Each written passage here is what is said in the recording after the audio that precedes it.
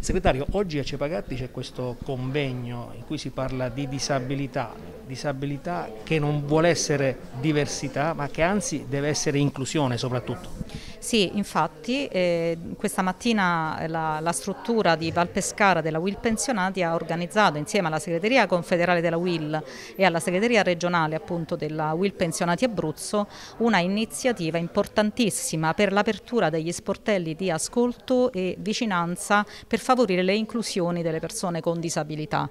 Eh, noi riteniamo che la disabilità sia un argomento ancora non approfondito e trattato a dovere. Eh, salutiamo con molto interesse questa legge eh, sulla disabilità che è stata approvata a livello nazionale, una legge delega naturalmente, quindi andrà, eh, crea andranno creati dei contributi, andranno inseriti eh, all'interno di questa legge dei decreti che possano realmente affrontare eh, l'argomento la, della disabilità a 360 gradi in tutti i suoi aspetti. Quindi questi sportelli di ascolto vogliono essere proprio eh, propedeutici e vicini alle persone che hanno difficoltà, alle persone più fragili, alle persone disabili appunto che eh, vogliano intraprendere un ragionamento che sia appunto a 360 gradi a tutto campo, dal momento della nascita al momento del pensionamento e nell'intermezzo nella fase lavorativa per un'inclusione sociale e lavorativa, scolastica eh, in tutti i campi. Segretario,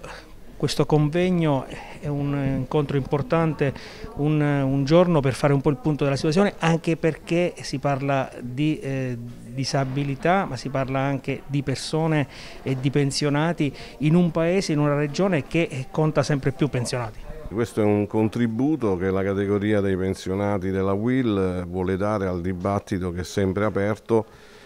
te su un tema fondamentale di, di eh, come si può aiutare ed accompagnare quella parte più debole della nostra società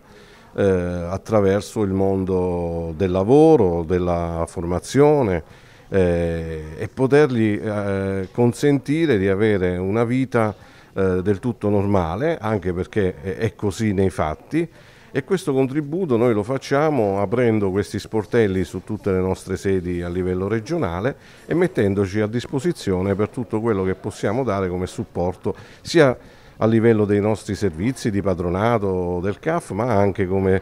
squisitamente sindacali come WIL e credo che sia un momento importante. La WIL, il sindacato dei cittadini a 360 gradi.